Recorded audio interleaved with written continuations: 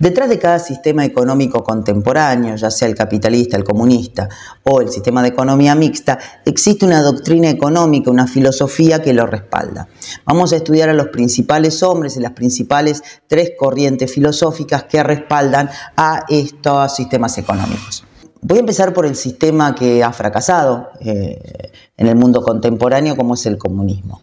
El ideólogo detrás de este sistema económico es Karl Marx, junto con Friedrich Engels, los cuales armaron y prepararon en 1848 el manifiesto del Partido Comunista. Marx era un filósofo, un economista, un sociólogo alemán que su principal motivación era la búsqueda del conocimiento. Él vivió en una época donde el capitalismo ya había dejado de ser el capitalismo liberal de Adam Smith y se había transformado en otra cosa. Se había transformado en el capitalismo monopólico, en la segunda etapa del capitalismo, con lo cual teníamos una asociación entre los, el sistema financiero, entre los bancos y las empresas industriales que habían formado oligopolios que establecían los precios de manera unilateral. También existía para sostener este sistema el imperialismo, esta segunda etapa del imperialismo, donde se explotaba por parte de Europa al resto del mundo que, estaba menos desarrollado económicamente. Ante esta situación es lógico que un pensador como Marx y otros, otros colegas de la época hayan visto que no existía igualdad en, eh, ni, justicia en la distribución de la riqueza en, esas, en esa época. Producto de esta desigualdad entre las distintas clases sociales es que finalmente Marx saca su obra más conocida, que es El Capital, editada en 1867, el primer tomo, porque los otros dos se editan después de su muerte. Habla de una crítica hacia el capitalismo, eh, como estaba desarrollándose en ese momento, y habla de la teoría de la plusvalía, donde era la mano de obra la que generaba el mayor valor y en detrimento de eh, la idea de que era el capital el que lo hacía. También habla de una lucha de clases, burguesía contra eh, proletariado, como en otro momento había sido nobleza contra burguesía, ¿no? O sea, ve otra etapa en la lucha de clases y establece la columna vertebral del comunismo como filosofía económica contrapuesta eh, totalmente con el pensamiento liberal de Adam Smith. Vamos ahora un poco para atrás en la historia y hablemos de Adam Smith. Adam Smith nació en 1723, era un escocés, cuya obra principal fue La riqueza de las naciones.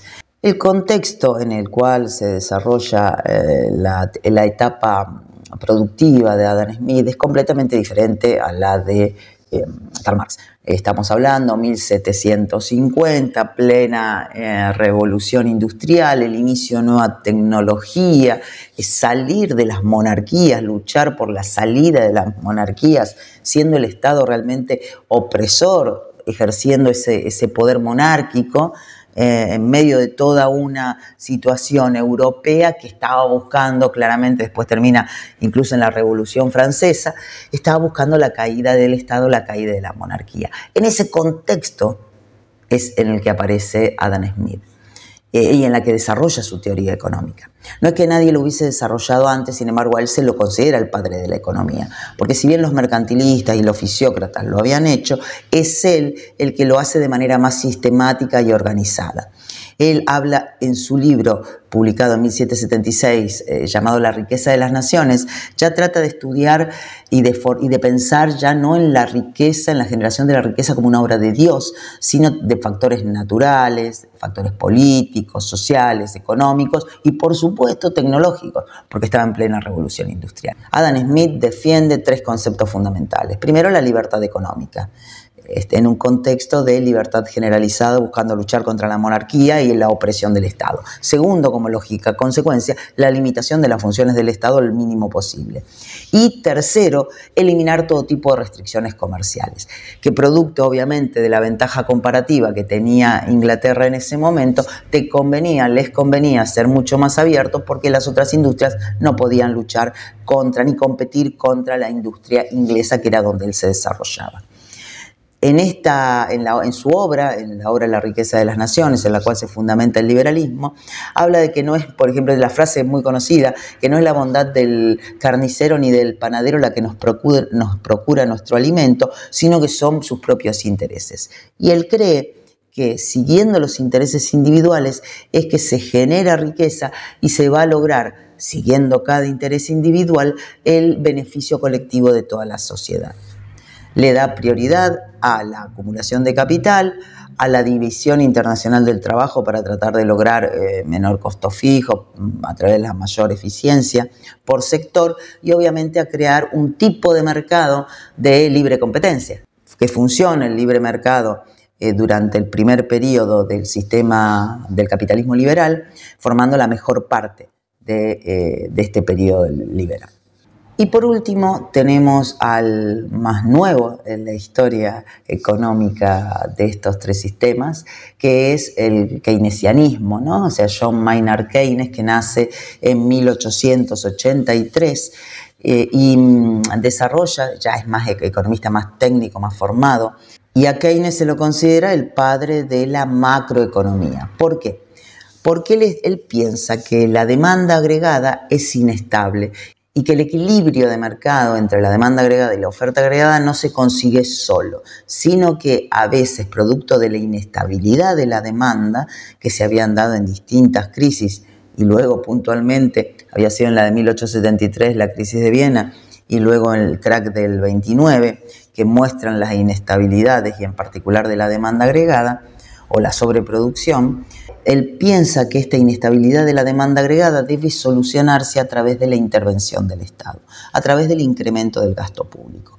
De esta manera escribe su libro en 1936, luego de salir de la crisis del 29 a través del New Deal, aprovechando y apoyando a, Roosevelt eh, en la salida de esta crisis, escribe su libro más conocido, eh, que es La teoría general eh, del empleo, el interés y el dinero, donde justamente hace énfasis en la necesidad de que el Estado intervenga en eh, la economía para evitar la profundización de las crisis.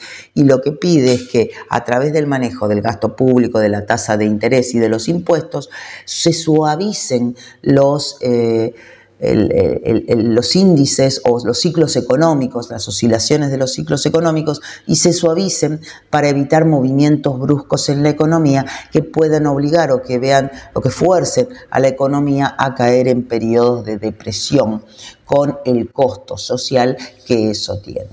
Estos tres economistas son producto de su tiempo. Cada uno vivió en un contexto histórico que hizo que desarrollaran un pensamiento de una manera o de otra de estos tres sistemas económicos está claro que el comunismo eh, fracasó, producto de su falta de ah, reconocimiento o de conocimiento del individualismo implícito en el ser humano y quedaron vigentes eh, los dos pensamientos, tanto el de Adam Smith como, y sus seguidores a través del liberalismo y el keynesianismo con sus seguidores, en los cuales se cree que el Estado tiene que tener algún grado de participación en la, eh, en la economía, en el desarrollo económico.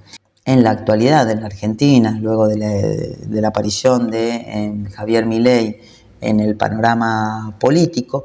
Teoría general de la ocupación, el interés y el dinero de Keynes.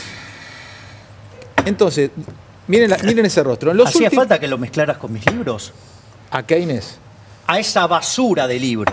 Ah, esto, esto, es un libro esto es un libro tradicional de las... Ese libro yo lo llamo la basura general. Se enfrenta y se hizo como un Boca River entre Smith y los liberales y los keynesianismos, considerando, siendo eh, la palabra keynesiano totalmente como si fuera una mala palabra, ¿no?